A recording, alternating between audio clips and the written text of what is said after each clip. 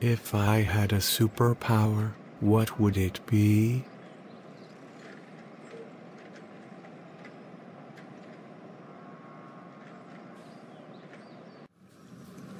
I have a pretty good idea. It is the end of October and things are bad. And they are about to get much, much worse. November is coming. It's times like these that call for secret superpowers. It's time for.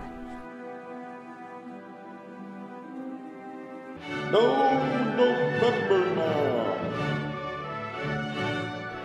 No November Man has the awesome power to skip November altogether and go straight to December.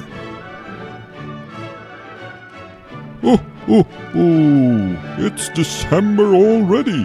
How can I ever repay you? All a day's work for No November Man.